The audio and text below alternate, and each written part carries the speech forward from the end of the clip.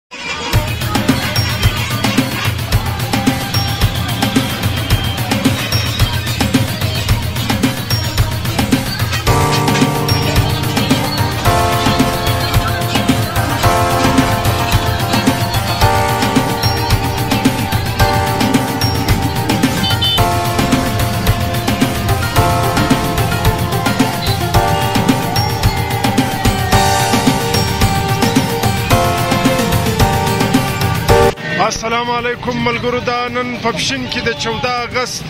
د پی ټی آی ریلی د ډیره غټه ریلی ده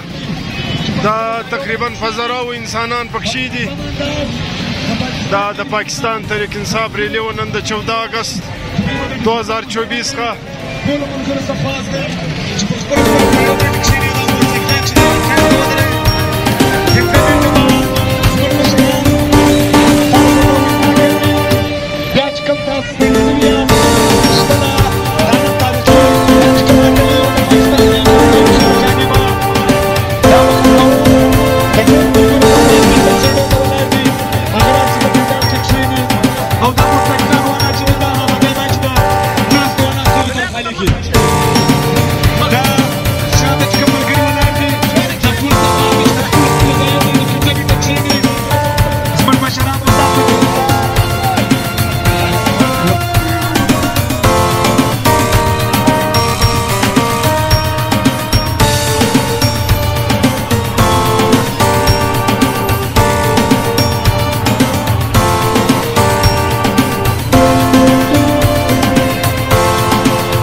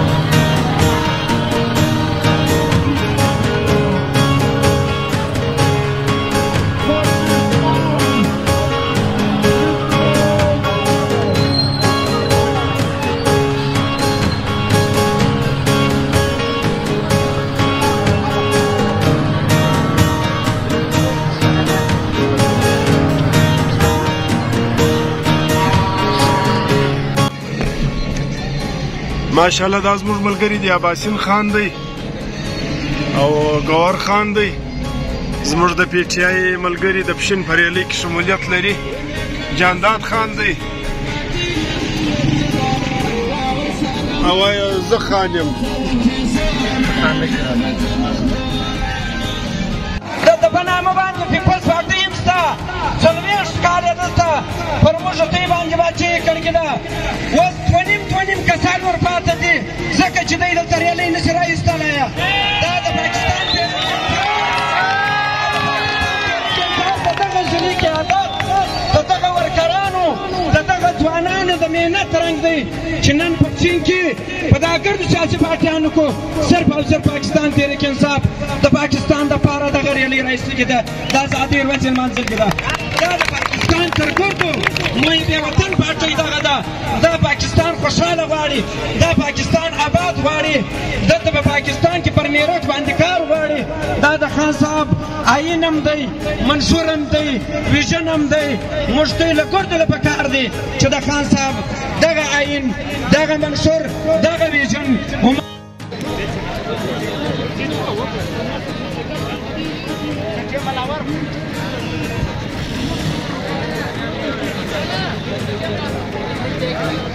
پاکستان د ازادۍ ورځ لمانځل کېږي. پاکستان تحریک انصاف په ګر پاکستان کې دا ثابته کړه چې د پاکستان تر ګور